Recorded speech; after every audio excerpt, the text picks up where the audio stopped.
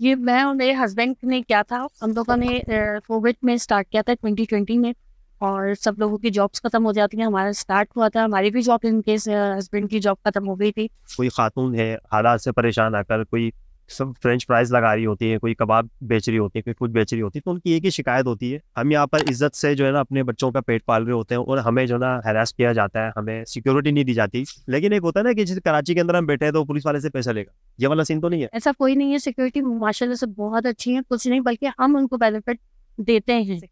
Discount भी नहीं मांगते सिक्योरिटी वाले। नहीं बिल्कुल नहीं। अब ये चीज़ें बता वो नहीं होती लेकिन आपको बताना चाहूँगी कि रमज़ान में हम लोग सरी तक होते हैं और आप और माहौल देखेंगे कि इसी तरह होता है। चार लग ही नहीं रहा होता कि ये चार बज रहे हैं बैरिया में। और मैं बिल्कुल चार बजे तक होती हूँ यहाँ पर। तारी वगैरह के मामले भी होते हैं। और लोग अपने बुक भी करा देते कि हमें अफ्तारी में ये सब चीज़ें चाहिए और हम कर लेते हैं। डांसिंग फाउंटेन ये भी मेरे पीछे बंद है। ये संडे के दिन होता है। मंडे वाले दिन भी ये बिल्कुल जो ना चल रहा था बेहतरीन। हमने वीडियो शूट ब्लॉग वगैरह भी हमने बनाया तो बाद में हमें पता चला कि यार ये कुछ सेटिंग वगैरह कर रहे थे। तो अगर आपने फाउंटेन को एंजॉय करना है तो आपने संडे की जो ना नाइट को आना होगा। टू आवर का जो ना वो टाइम ड्यूरेशन होता है।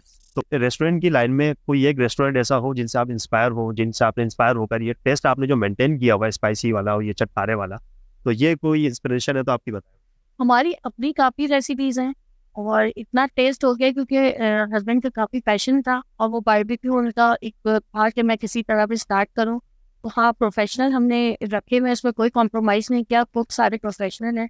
तो अभी इसी मज़ाक में हमारी बात हो रही थी आपके स्टाफ के साथ कि यार अब तो हमें मेंबरशिप दे दो हम तो एक दिन में दो दफ़ा भी आते हैं। तो इस तरह का कोई सीन है आप लोगों का?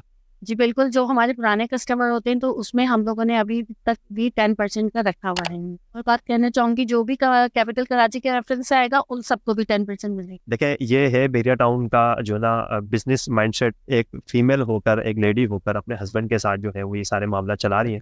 तो उन्होंने कहा था मेरी वाइफ जो है ना वो इंटरव्यू देंगी। तो जब मैंने उनसे पूछा मैंने कहा वो पार्टनर है साथ तो बरा ये सेटअप भी सारा उन्हीं का है।